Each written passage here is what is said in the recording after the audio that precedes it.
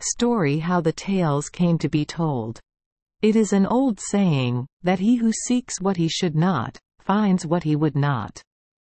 Everyone has heard of the ape who, in trying to pull on his boots, was caught by the foot. And it happened in like manner to a wretched slave, who, although she never had shoes to her feet, wanted to wear a crown on her head. But the straight road is the best, and, sooner or later, a day comes which settles all accounts. At last, having by evil means usurped what belonged to another, she fell to the ground. And the higher she had mounted, the greater was her fall, as you shall see. Once upon a time the king of Woody Valley had a daughter named Zoza, who was never seen to laugh. The unhappy father, who had no other comfort in life but this only daughter, left nothing untried to drive away her melancholy. So he sent for folks who walk on stilts, fellows who jump through hoops, for boxers, for conjurers, for jugglers who perform sleight of hand tricks, for strong men, for dancing dogs, for leaping clowns, for the donkey that drinks out of a tumbler.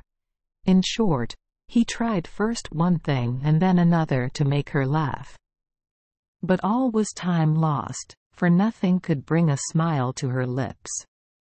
So at length the poor father, at wit's end, and to make a last trial, ordered a large fountain of oil to be set in front of the palace gates, thinking to himself that when the oil ran down the street, along which the people passed like a troop of ants, they would be obliged, in order not to soil their clothes, to skip like grasshoppers, leap like goats, and run like hares, while one would go picking and choosing his way, and another go creeping along the wall. In short, he hoped that something might come to pass to make his daughter laugh. So the fountain was made, and as Zoza was one day standing at the window, grave and demure, and looking as sour as vinegar, there came by chance an old woman, who, soaking up the oil with a sponge, began to fill a little pitcher which she had brought with her. And as she was laboring hard at this ingenious device, a young page of the court passing by threw a stone so exactly to a hair that he hit the pitcher and broke it to pieces. Whereupon the old woman, who had no hair on her tongue, turned to the page, full of wrath, and exclaimed, Ah, you impertinent young dog! You mule! You gallows rope! You spindle legs! Ill luck to you! May you be pierced by a Catalan lance! May a thousand ills befall you and something more to boot, you thief, you knave! The lad, who had little beard and less discretion, hearing this string of abuse, repaid the old woman in her own coin, saying, Have you done, you grandmother of witches, you old hag, you child strangler? When the old woman heard these compliments she flew into such a rage that, losing hold of the bridle and escaping from the stable of patience, she acted as if she were mad, cutting capers in the air and grinning like an ape. At this strange spectacle Zoza burst into such a fit of laughter that she well nigh fainted away. But when the old woman saw herself play this trick, she flew into a passion, and turning a fierce look on Zoza she exclaimed, May you never have the least little bit of a husband, unless you take the Prince of Round Field.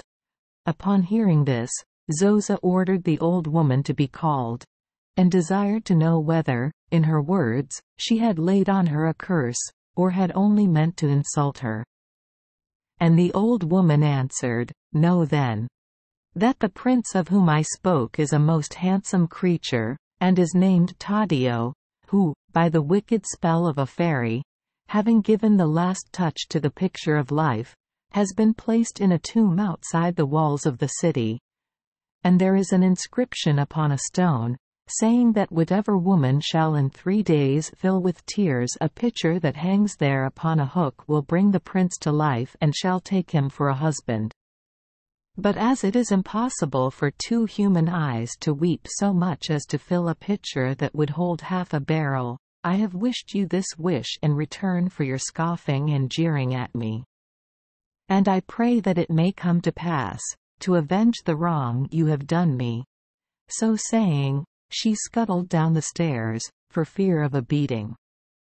Zoza pondered over the words of the old woman, and after turning over a hundred thoughts in her mind, until her head was like a mill full of doubts, she was at last struck by a dart of the passion that blinds the judgment and puts a spell on the reasoning of man.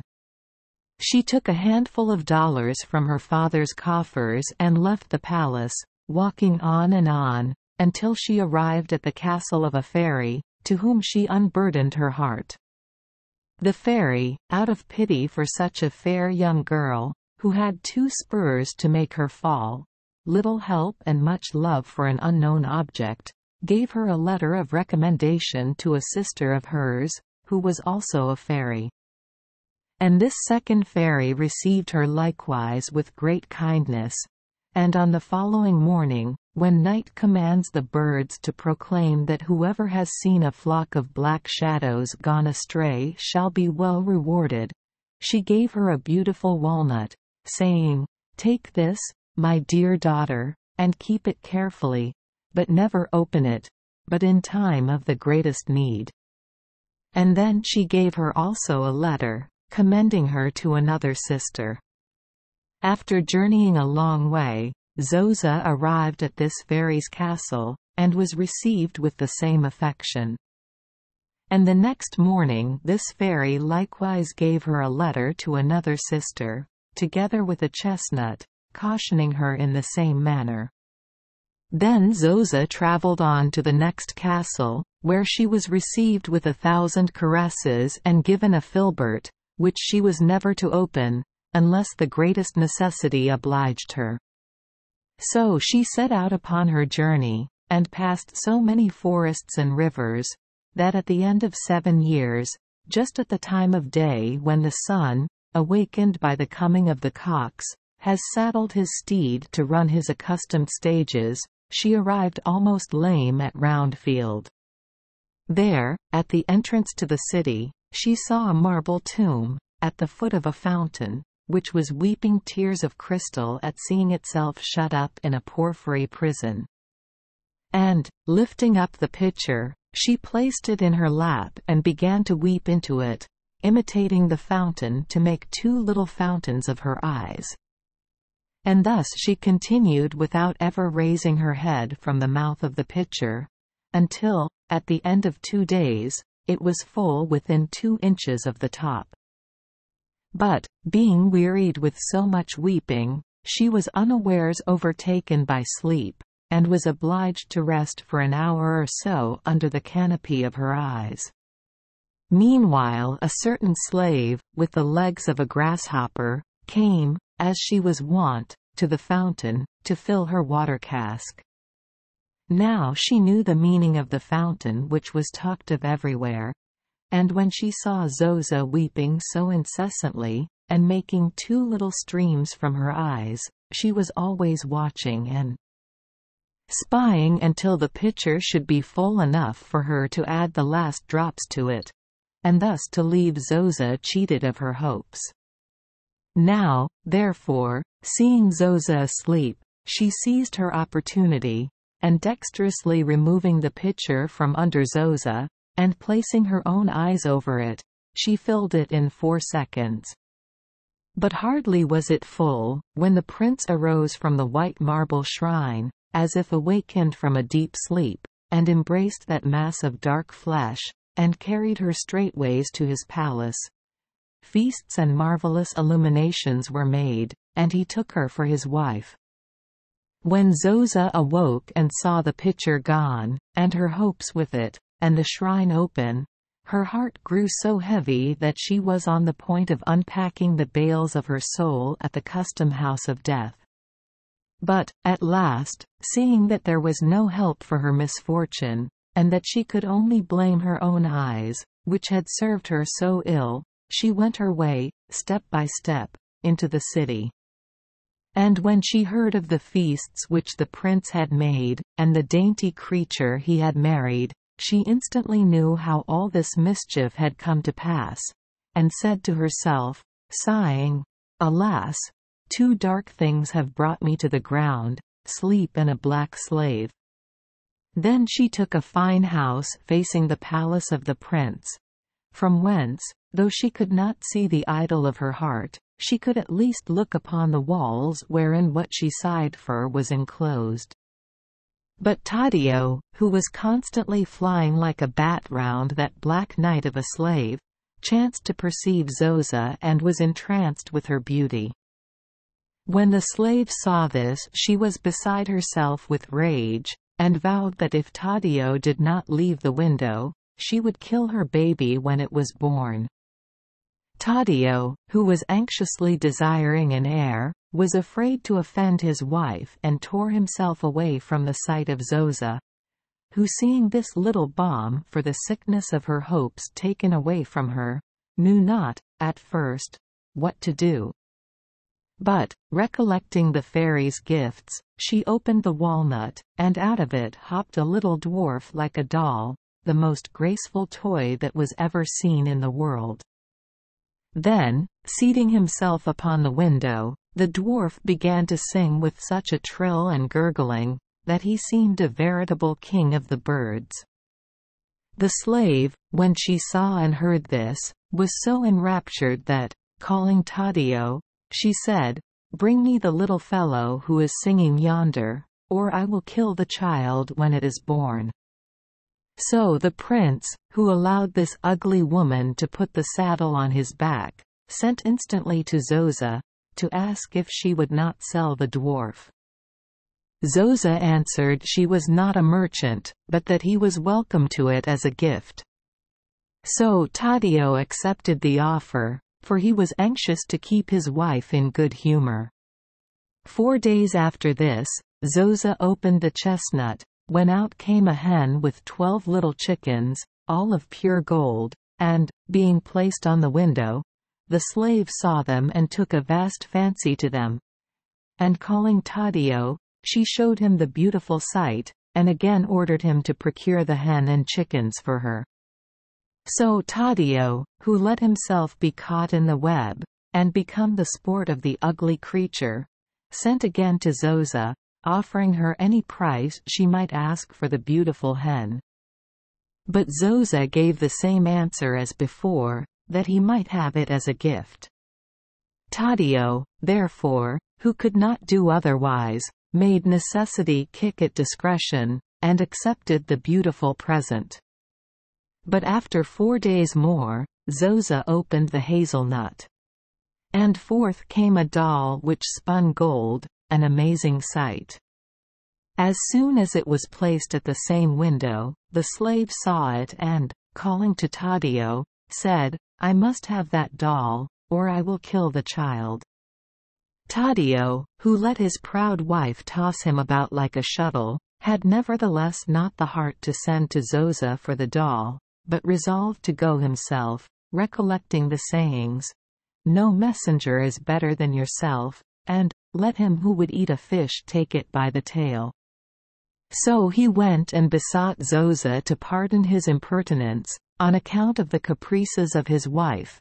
And Zoza, who was in ecstasies at beholding the cause of her sorrow, put a constraint on herself, and so let him entreat her the longer to keep in sight the object of her love, who was stolen from her by an ugly slave. At length she gave him the doll, as she had done the other things, but before placing it in his hands, she prayed the little doll to put a desire into the heart of the slave to hear stories told by her. And when Taddeo saw the doll in his hand, without his paying a single coin, he was so filled with amazement at such courtesy that he offered his kingdom and his life in exchange for the gift. Then, returning to his palace, he placed it in his wife's hands, and instantly such a longing seized her to hear stories told, that she called her husband and said, Bid some storytellers come and tell me stories, or I promise you, I will kill the child. Taddeo, to get rid of this madness, ordered a proclamation instantly to be made, that all the women of the land should come on the appointed day. And on that day, at the hour when the star of Venus appears, who awakes the dawn, to strew the road along which the sun has to pass, the ladies were all assembled at the palace. But Taddeo, not wishing to detain such a rabble for the mere amusement of his wife, chose ten only of the best of the city who appeared to him most capable and eloquent. These were bushy-haired Ziza, bandy-legged Cecca, wen-necked Meneca, long-nosed Tolla, hump-backed Popa, bearded Antonella, dumpy Ciulla, blear-eyed Paola, bald-headed Sivan Metella, and square-shouldered Jacova. Their names he wrote down on a sheet of paper. And then, dismissing the others, he arose with the slave from under the canopy, and they went gently to the garden of the palace, where the leafy branches were so closely interlaced, that the sun could not separate them with all the industry of his rays. And seating themselves under a pavilion, formed by a trellis of vines, in the middle of which ran a great fountain, the schoolmaster of the courtiers, whom he taught every day to murmur, Taddeo thus began, There is nothing in the world more glorious, my gentle dames, than to listen to the deeds of others, nor was it without reason that the great philosopher placed the highest happiness of man in listening to pretty stories. In hearing pleasing things told, griefs vanish, troublesome thoughts are put to flight and life is lengthened. And, for this reason, you see the artisans leave their workshops, the merchants their country houses, the lawyers their cases, the shopkeepers their business, and all repair with open mouths to the barbers' shops and to the groups of chatterers, to listen to stories, fictions, and news in the open air. I cannot, therefore, but pardon my wife, who has taken this strange fancy into her head of hearing the telling of tales. So, if you will be pleased to satisfy the whim of the princess and comply with my wishes, you will, during the next four or five days, each of you relate daily one of those tales which old women are wont to tell for the amusement of the little ones. And you will come regularly to this spot, where, after a good repast, you shall begin to tell stories, so as to pass life pleasantly, and sorrow to him that dies. At these words, all bowed assent to the commands of Taddeo. And the tables being meanwhile set out and feast spread, they sat down to eat. And when they had done eating, the prince took the paper and calling on each in turn, by name, the stories that follow were told, in due order. Thank you for joining us for today's fairy tale. We hope these stories bring joy and meaning to your day.